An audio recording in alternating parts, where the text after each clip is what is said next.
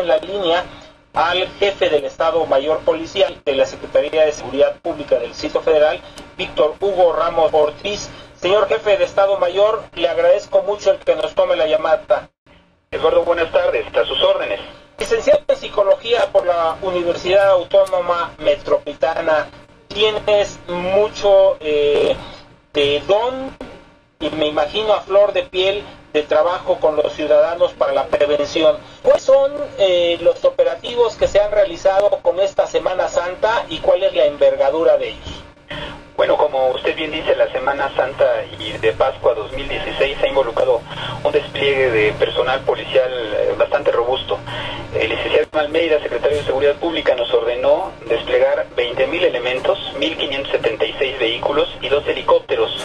Todo esto para hacer la en zonas residenciales, unidades habitacionales, edificios departamentales, hoteles, zonas de esparcimiento familiar, restaurantes, eh, plazas comerciales, bancos, en fin, todas las zonas turísticas de la ciudad.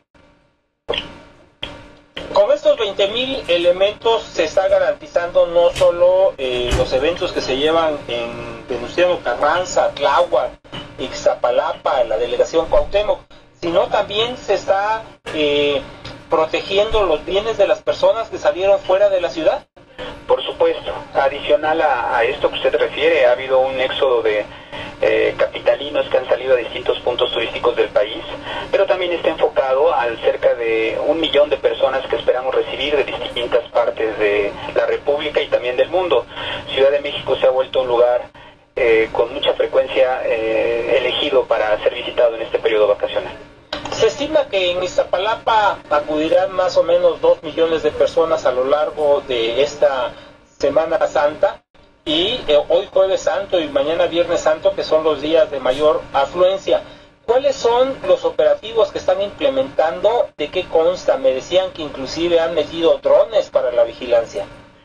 Sí, efectivamente, desde el pasado domingo 20 de marzo con el Domingo de Ramos, como usted sabe, actividades de este dispositivo, en el cual se están utilizando también helicópteros, se está utilizando semovientes, 200 de ellos, y 10.000 policías, digamos, en los distintos días.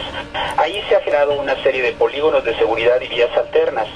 La respetuosa sugerencia para sus radioescuchas es que aquellos que vayan a asistir, particularmente mañana, que es el día de, de mayor aforo, que lo hagan a través de del transporte público que ofrece la ciudad.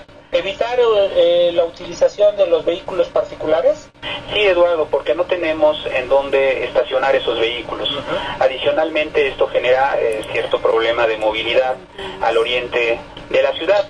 Sin embargo, y es importante recomendar, habrá cuatro puntos de hidratación, que la gente tome el tiempo necesario para trasladarse. Habrá, como le decía hace un momento, personal del Escuadrón de Urgencias Médicas, quien estará atendiendo cualquier solicitud de eh, los participantes. Solamente tenemos 2.000 actores, 3.000 personas de la delegación en el operativo, 200 personas del INJUVE, es decir, es un operativo muy robusto para este cerca de 2 millones de personas que asisten a este evento. Ahora, si algún ciudadano necesitara apoyo, ayuda, ¿a dónde se puede dirigir? ¿Con quién se puede referir? ¿Hay alguna página en internet, teléfonos a los cuales llamar, eh, señor jefe de Estado Mayor?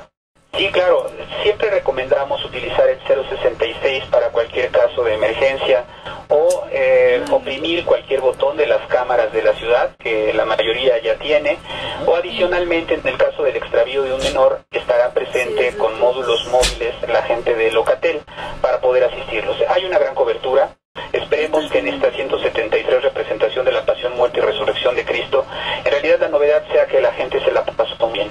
Quiero comentarle que no obstante que no hay ley seca, sí se prohibirá, seremos estrictos e en el sentido de permitir que la gente pueda consumir algún tipo de bebida eh, alcohólica, así en la vía pública o venderla, por supuesto. En ese sentido, la respetuosa sugerencia es que eh, la ingesta de alcohol sea en las casas y que por supuesto eh, mantengan el orden y la paz pública. De manera moderada y con respeto por sobre todo. Señor jefe del Estado Mayor, Víctor Hugo Ramos Ortiz, te agradezco infinitamente el que nos hayas dado todos estos elementos para eh, poder actuar de manera pertinente. Muchísimas gracias. Estoy a tus órdenes, Eduardo, y seguiremos informando.